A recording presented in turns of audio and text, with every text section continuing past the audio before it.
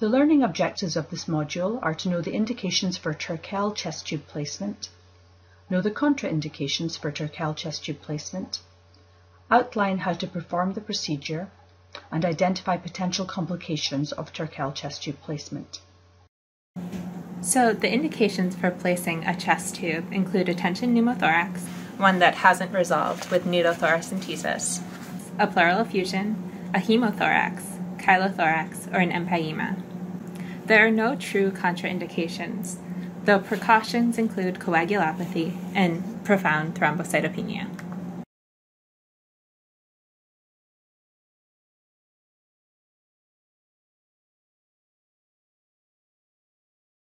First, we set up the kit. This is the chest tube.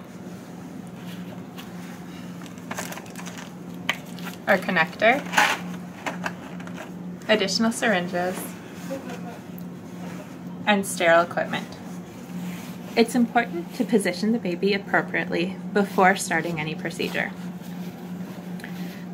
Assuming this infant has a left sided tension pneumothorax, you will want to place the arm above the head and secure it, and a roll to appropriately position.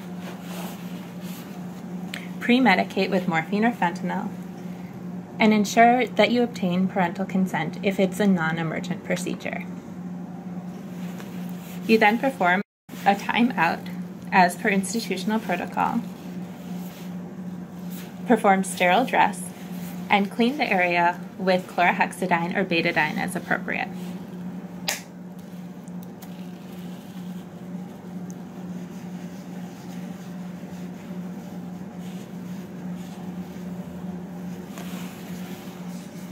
You then identify the proper landmarks, which would be the mid axillary line in the fourth or fifth intercostal space. You would then drape the baby sterilely.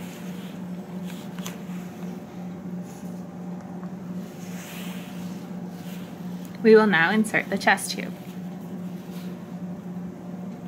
Again, identify your landmarks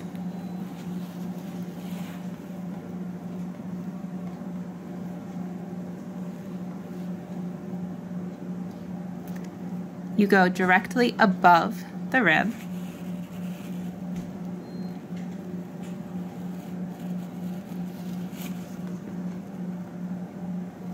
And go until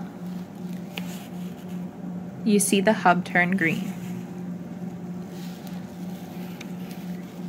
You will then want to insert your chest tube another 2 to 3 centimeters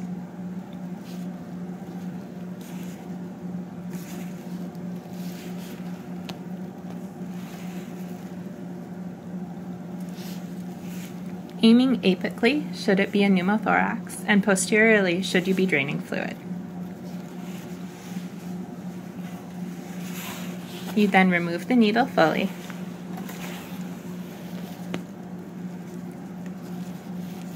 Attach your tubing, and then attach your end piece to your Pleur-evac.